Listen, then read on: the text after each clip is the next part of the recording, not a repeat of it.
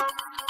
E aí galera, tudo bem com vocês? Vamos aí para mais um giro de notícias sobre o Cruzeiro com questões importantes que têm movimentado o ambiente do nosso clube nas últimas horas. Meu nome é Emerson Araújo, esse é o canal 6 a 1 e desde o início eu peço para você deixar o like no vídeo, se inscrever no canal caso ainda não seja inscrito e usar os comentários para opinar sobre cada um dos temas. Lembro ainda que o vídeo é feito com o patrocínio do OneFootball, que é o maior aplicativo sobre futebol do planeta. Ele está de cara nova, tá? Foi totalmente remodelado aí, mas continua informativo como sempre, notícias, vídeos, dados de partidas e tudo mais. E o melhor de tudo, tá? Ele segue totalmente gratuito, disponível tanto para Android quanto para iOS, e o link para você baixá-lo tá aqui na descrição do vídeo, beleza? O jogo entre Cruzeiro e Uberlândia, que estava previsto para ser realizado hoje, né, nessa quarta-feira, 7 horas da noite lá no Mineirão, foi cancelado, tá? Isso por causa do alto número de jogadores e membros da comissão técnica do Uberlândia que foram infectados aí com o novo coronavírus. No total são 13 integrantes, tá? Quatro jogadores já estavam afastados desde a última partida e na última rodada de exames mais cinco jogadores. Então o Uberlândia tinha nove jogadores fora, inclusive eles mostraram interesse em fazer a partida, botar jogadores do sub-20, né? Pelo menos essa foi até a informação de ontem à noite, mas o cancelamento do jogo aconteceu nessa manhã de quarta-feira,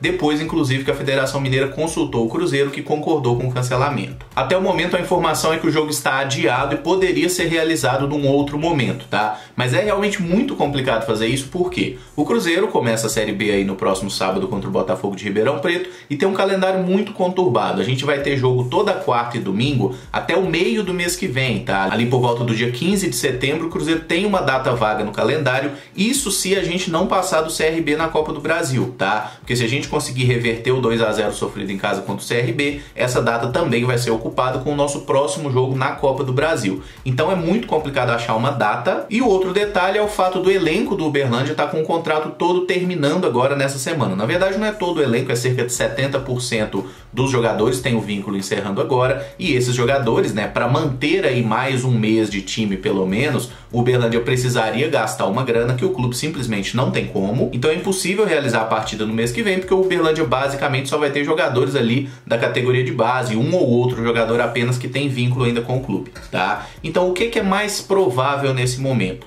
É que se for mantida essa questão do troféu em confidência, no ano que vem Cruzeiro e Uberlândia vão se enfrentar na primeira fase do Campeonato Mineiro. Se de fato tiver campeonato estadual, que a gente acredita que vai ter, até porque é muito difícil acabar, né, com essa pedra no sapato aí, que acaba sendo estadual para os clubes grandes. Então, tendo esse jogo Cruzeiro e Uberlândia ano que vem, quando ele for realizado, quem ganhar a partida fica aí com o troféu em confidência retroativo, né, de 2020, e isso é uma coisa que não seria novidade, a gente já cansou de ver isso, jogos valendo inclusive por duas competições eram muito comuns aí na década de 90, por exemplo, e essa é a mais provável solução de momento, então, para quem vai ser o vencedor aí do troféu em Confi Champions. Pensando no time do Cruzeiro em si, não teria grande efeito, porque o Anderson já tinha avisado que a gente iria jogar com time reserva. Inclusive, essas seriam as prováveis escalações para esse confronto de hoje. Eu tinha feito pré-jogo, ele se tornou desnecessário porque não vai ter jogo, mas o Cruzeiro aí com várias mudanças e preservando todos os titulares para o jogo de sábado contra o Botafogo de Ribeirão Preto. Seria legal a gente ver alguns jogadores tendo minutos aí com a nossa camisa, né? Especialmente aí o Claudinho, o Wellington e o Adriano, além do goleiro Lucas França. E seria também uma oportunidade para ver caras como João Lucas, Machado, Judivan e Robertson, né, que precisam se firmar, pelo menos como peças úteis aí para seguir no elenco na temporada. Mas acho que todos concordamos que era um risco muito grande e foi melhor realmente cancelar a partida,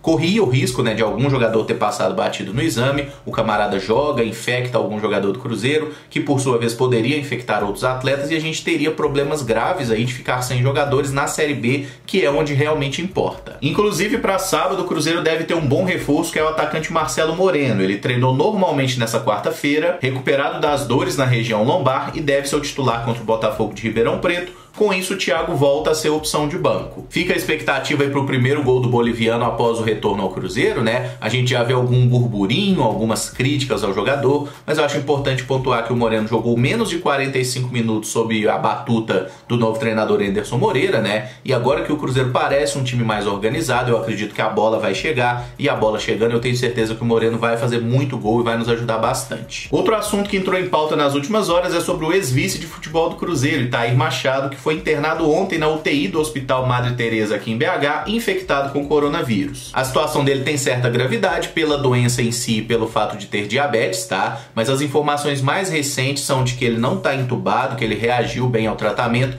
Então o Itair não morreu, o Itair não tá com o pé na cova, como muita gente está dizendo por aí, não. Parece que ele tá indo bem e vai recuperar. E o que eu gostaria de saber de vocês é como vocês reagiram a essa notícia, né? Porque a maioria já deve ter ouvido falar disso ontem, que foi quando realmente isso tomou conta aí das redes sociais. E assim, deu pra gente ver alguns comentários bem pesados, deu pra gente ver alguns comentários que eu considero bem hipócritas também. E na minha situação especificamente, eu não consigo ser nem do time que deseja força Itaí, muito menos do time que deseja força Covid. Ele é sim o principal responsável por tudo de ruim que aconteceu com o Cruzeiro nos últimos anos. Era ele que tinha inclusive procuração como presidente, agia como tal e tomou as decisões que nos colocaram nesse buraco financeiro, sim. Mas penso que ele ter que pagar por tudo isso em vida seria muito melhor, tá? Não consigo sentir nenhum tipo de solidariedade ou ficar torcendo por ele. Se isso fizer de mim uma pessoa ruim, paciência, mas eu realmente não consigo me compadecer desse cidadão. Também não consigo confiar muito na efetividade da justiça do nosso país, tá? Mas acredito que sim, o Itair Machado vai se recuperar dessa, até porque vaso ruim não quebra fácil, né? Mas o que eu gostaria mesmo é de abrir essa discussão e ouvir de vocês como vocês receberam essa notícia aí do Itair Machado internado. Com relação ao zagueiro Manuel, saiu a notícia agora no início da tarde, confirmada lá pelo Samuel Venâncio da Itatiaia, que o jogador não vai continuar no futebol turco e inclusive teve o seu contrato reativado com o Cruzeiro. O Manuel tem vínculo conosco até o final dessa temporada 2020. Lá no início do ano ele tinha até iniciado as conversas ali para uma readequação salarial, né, para receber menos nesse momento.